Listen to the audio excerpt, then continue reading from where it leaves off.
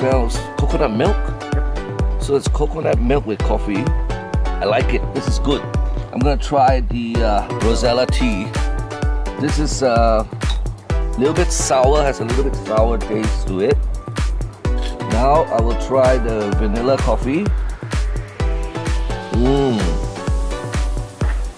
Just as good actually. Uh, but I prefer the coconut coffee. I'm gonna try this tea now. And this is the mangosteen. Now this is the first time I've tasted, I'm gonna be tasting mangosteen tea. Refreshing. And I think the mangosteen tea, you can drink this cold, right? It's, it can be quite nice if it's cold and chill with ice. The next one is ginseng coffee. Nope, I don't like this. I'll try this tea now. This is just lemon tea. Okay, very, very sour, sweet. Again, very refreshing, just like lemon tea.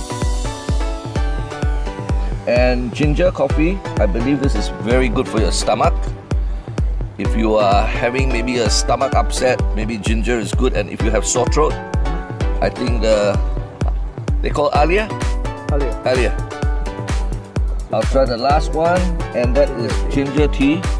I definitely like ginger tea better than ginger coffee. Uh, ginger coffee is, uh, I don't know, strong, yeah. Very, uh, very strong taste. Okay, now the Balinese coffee doesn't have, I don't know, I'm not really so, so much of a coffee drinker, so. Uh, just bitter. Bitter, I don't know. Okay, finally, the highlight, which is Kopi Luwak. Look at it, beautiful, look at that, wow. Okay, definitely better uh, than the normal Balinese coffee, but uh, I don't think there's sugar here, so we have to add in a little bit of sugar and it'll probably taste better. Well, there you have it.